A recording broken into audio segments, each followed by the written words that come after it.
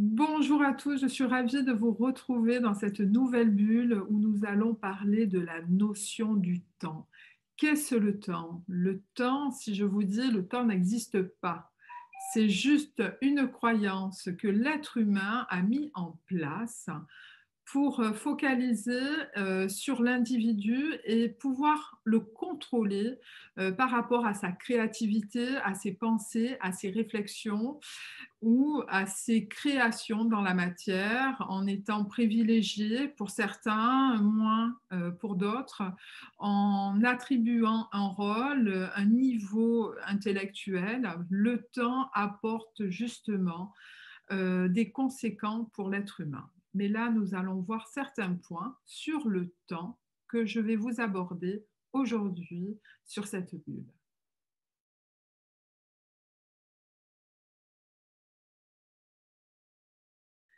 Alors, prévoir, c'est agir. C'est-à-dire que lorsque nous mettons en place un objectif, un but à atteindre, ou en tout cas l'élévation de nos enfants, euh, la transmission pour certains, tout est dans le temps. On comprend bien que lorsque l'humain naît, c'est un bébé qui n'a pas encore pris connaissance des dogmes, euh, des euh, valeurs au niveau des objets, de la production, euh, de la relation humaine à l'autre, mais aussi cette relation avec les végétaux et les animaux.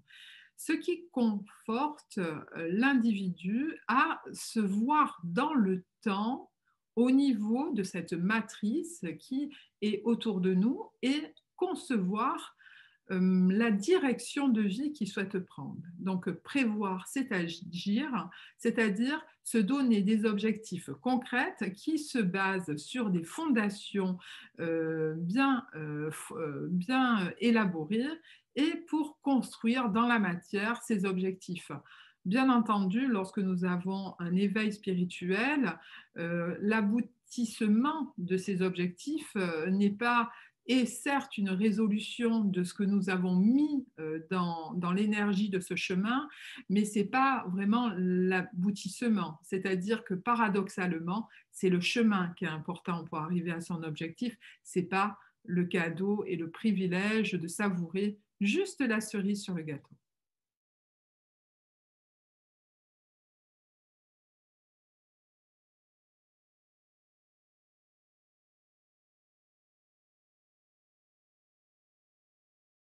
Prévoir, donc, comme je viens de vous dire, c'est agir. Ça permet une clarté, d'être plus élaboré dans sa vie, de trouver une harmonie, une équilibre et une stabilité de vie par rapport aux relations humaines que nous avons euh, tout simplement euh, à nos portées euh, et qui peuvent nous ancrer dans la matière. Alors cette année, c'est la nouvelle ère, en tout cas l'énergie du buffle on va demander aux personnes de vraiment s'enraciner, de revenir à l'essentiel, au matériel, tout en étant liées vers le cœur.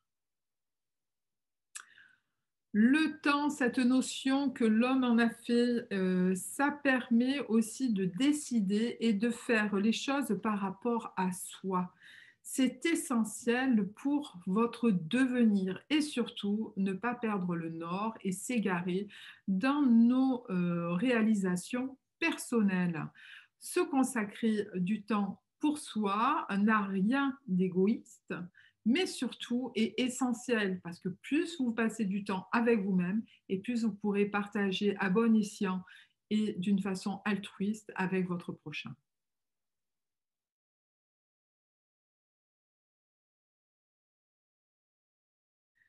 Qu'en est-il de ces dates d'anniversaire? Alors, pour ma part, dans chaque euh, année euh, qui, euh, qui, se fait, c'est une célébration pour, pour tout le monde parce que vous allez pouvoir à nouveau être influencé par les énergies datant de votre date d'anniversaire et qui vont vous impulser sur une nouvelle vie, sur le renouveau, sur une renaissance parfois, et puis aussi sur un engouement de vie où euh, il y a possibilité d'abondance dans tous les objectifs que vous avez semés l'année précédente. Alors gardez toujours espoir, cette foi est centrée vers vous-même.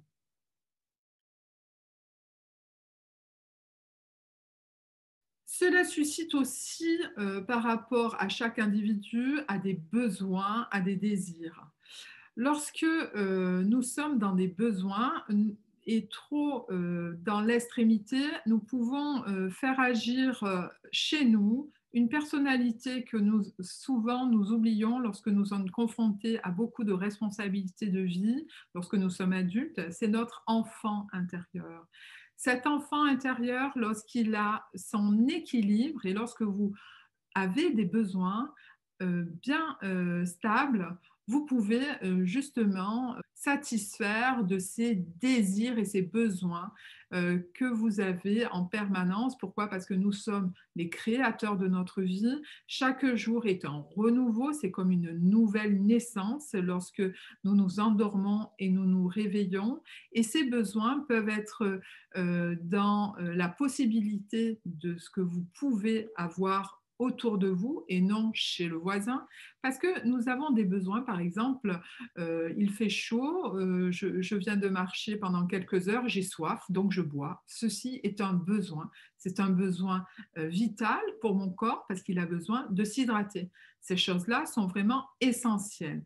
Nous n'avons pas forcément des besoins parce que nous avons dix voitures, nous voulons une onzième voiture. Ça, on va rentrer dans un désir. C'est quelque chose où notre enfant intérieur va taper des pieds. On va faire appel à un enfant euh, qui, euh, qui a souvent eu euh, l'attention particulière et que lorsqu'il n'a pas eu ces choses-là, peut agir d'une façon sournoise parce que finalement, il n'a pas eu sa onzième voiture. Donc, d'une façon bien équilibrée, si vous avez des désirs, parce qu'on peut avoir des désirs, ça, fait des, ça, ça réanime en fait cette notion créative que nous avons tout le monde a. Et lorsque les désirs aussi euh, sont bien équilibrés, ils peuvent aussi euh, être bien, euh, bien conformes à vos attentes et se réaliser dans le plus tard. Mais le plus tard, bien entendu, vous êtes seul créateur de votre propre existence. Et n'oubliez pas une chose, que vous, vous avez le panel des couleurs devant vous, vous êtes quelqu'un et euh, chaque personne euh, illimitée, n'oubliez pas tout ce que vous avez la possibilité de réaliser sur cette terre qui, euh, où on a la chance de s'épanouir.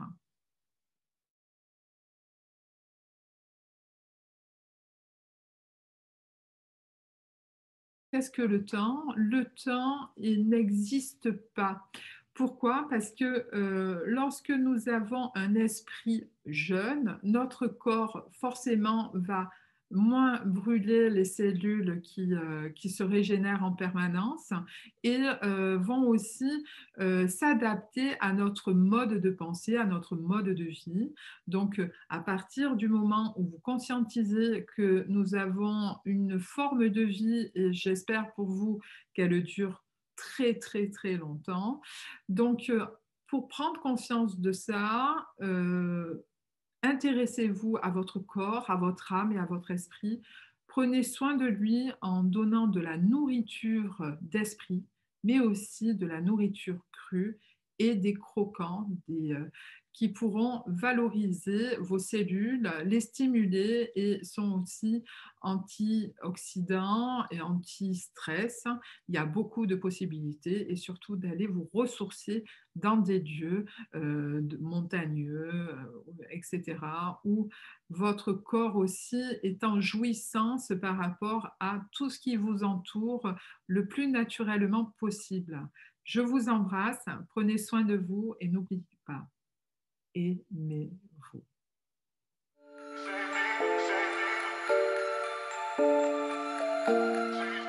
Vous souhaitez suivre les vidéos hebdomadaires euh, L'amour vers soi Abonnez-vous et cliquez sur la cloche pour recevoir les notifications. Merci.